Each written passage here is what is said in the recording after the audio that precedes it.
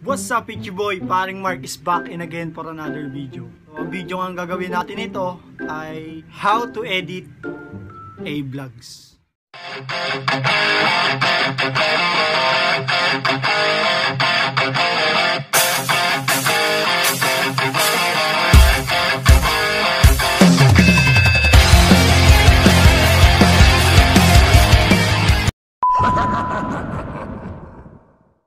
Alam ko naman sa karamihan sa mga nanonood sa akin, so mga kaibigan natin, viewers natin na gustong matuto about sa pag-vlog o paano ba mag-edit ng vlogs. Paka-simple lang naman. So bago nga natin umpisahan to, make sure na nakasubscribe ka na sa aming channel at thumbs up mo na yan at i-hit mo na rin ang notification bell para lagi kang updated once na may video tayo na i-upload for more kalokohans, for more tutorials, and marami pa kayong aabangan dito sa aming channel.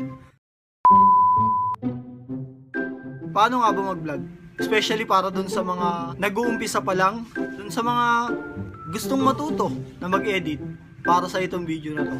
Unahan ko na kayo, hindi naman mahirap mag-edit. Hindi rin madali ang mag-edit.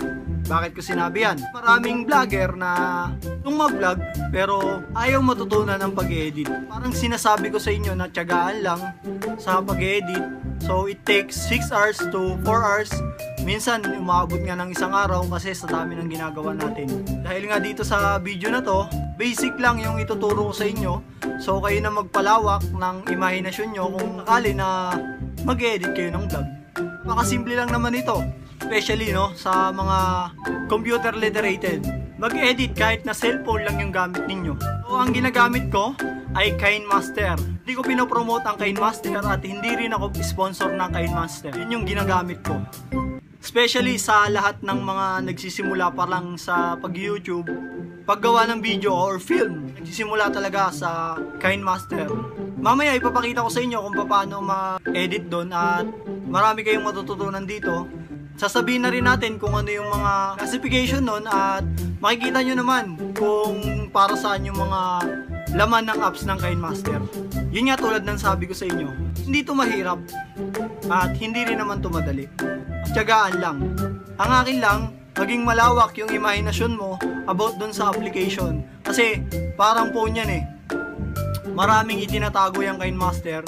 Maraming pwedeng mapaganda yung vlogs mo sa KineMaster at yung mga itinuturo ko ngayon dito ay basic lang at para magkaroon kayo ng idea para dun para gamitin niyo yung KineMaster. Kung gagawa ako ng video sa KineMaster, no, ang diskarte ko kasi ang ginagawa ko, delete, upload, delete, upload, delete, upload. Hindi pwedeng maging permanente dun sa phone mo yung video mo at unang-una, maliit ang space. Hindi ka naman pwedeng bumili ng maraming memory card kasi medyo may kamahalan rin yung memory card. Tara, let's go sa panibago nating episode kung paano gamitin ng KineMaster. Especially talaga sa mga nagsisimula pa lang sa pag-YouTube. Ito talaga yung panimula nila o yung KineMaster. Dito talaga nagsisimula yung maraming YouTuber na mag-edit ng vlog nila at maraming pwedeng magawa tong KineMaster. Ginawa talaga para sa pagbablog. So dito tayo sa ano, sa kung nakikita niyo yung ano na yun, yung plus na yun. Ah, uh, makikita niyo diyan. Pipindutin niyo lang 'yon. So may makikita kayo dito na select aspect ratio. So ibig sabihin yung laki o size ng video mo, ang ginagawa ko pagka nag-edit ako 16.9. So dito makikita nyo may media, may audio, may layer, may voice. Para saan ba yung mga yan? So, unahin natin tong media. Yung media na yan, may mili ka ng video mo na i-edit mo. So, yun yung, so yung video na ginawa ko kanina, so, pindutin natin, nandito siya sa videos. Yung galing dun sa iPhone na ginagamit ko na phone ngayon, so, tapos pinasa ko dito sa phone ko na gamit pang edit. So, makikita nyo rito, pipindutin nyo lang yan,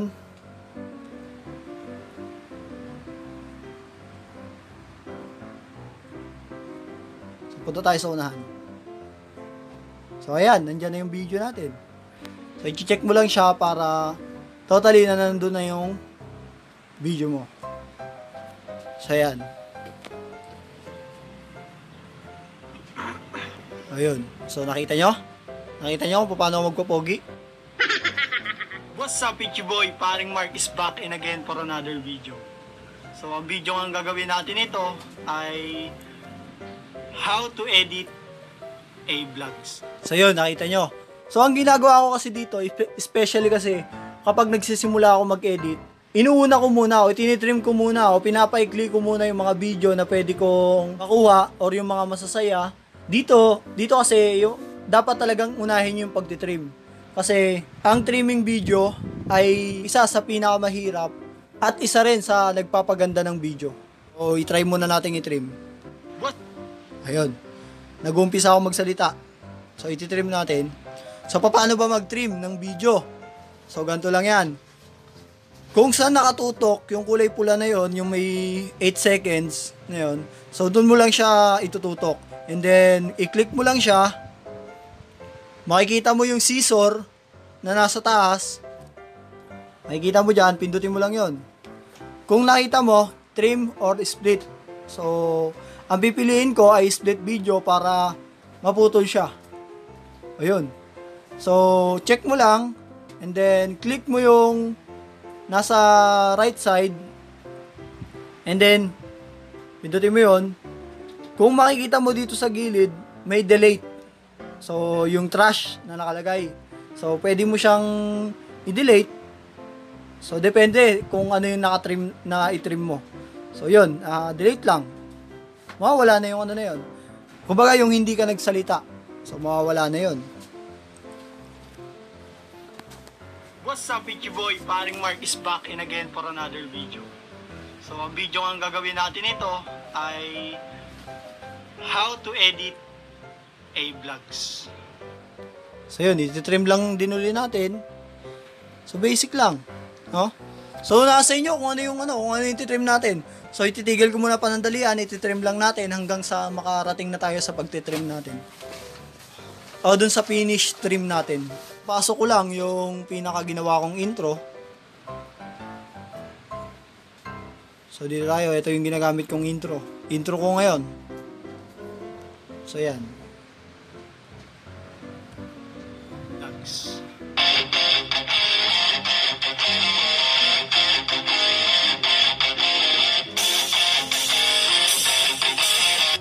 So yun, uh, nandun nga tayo sa intro.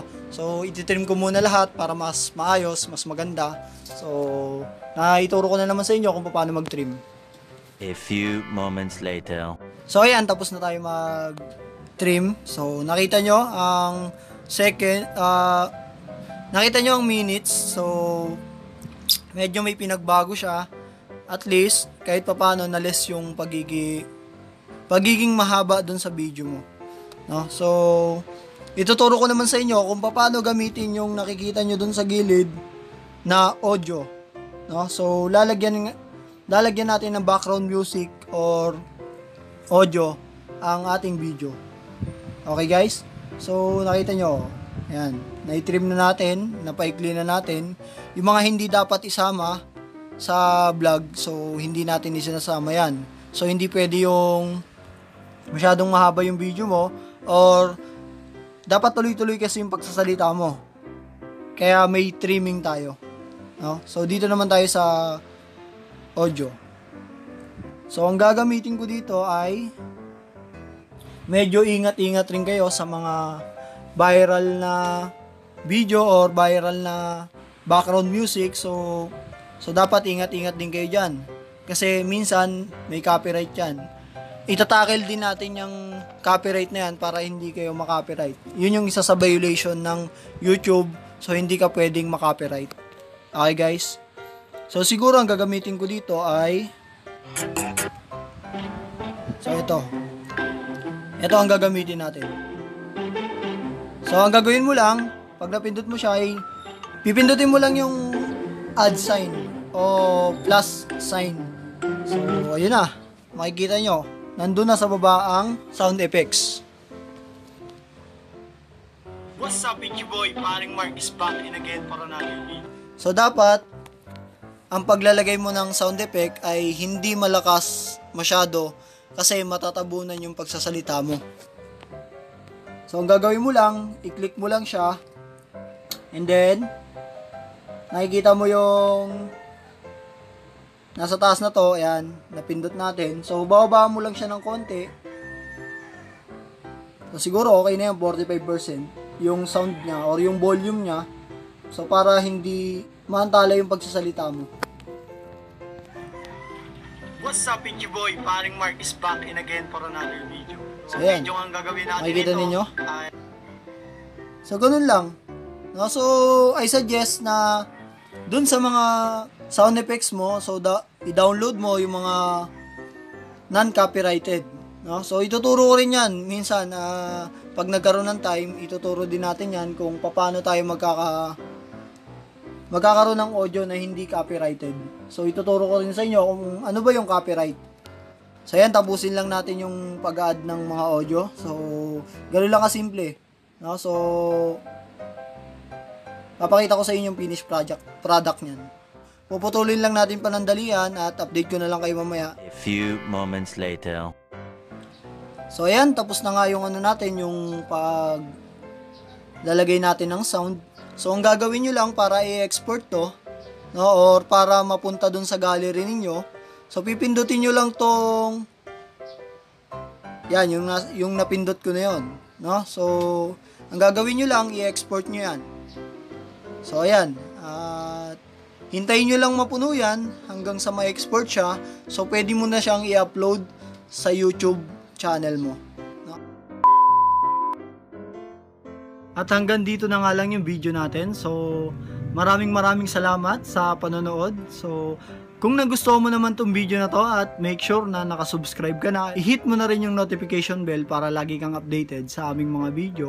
At manote ka once na may bago kaming upload na video. So, guys, hanggang dito na nga lang. Maraming maraming salamat. Thanks for watching.